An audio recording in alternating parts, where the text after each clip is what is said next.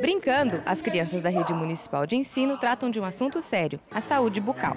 Parceria do SESC Rio Preto com as secretarias de Educação e Saúde do município promove campanha de orientação e conscientização em 29 escolas até novembro.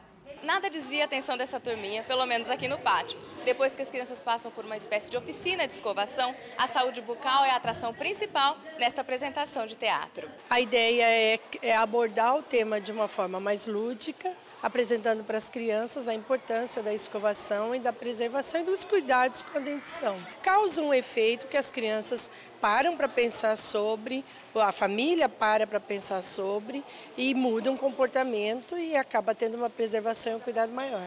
A apresentação teatral Dentição, da Companhia Cênica, percorre as escolas e é direcionada a crianças entre 6 e 12 anos de idade. Ah, senhor, senhor brigadeiro, foi o meu sorriso!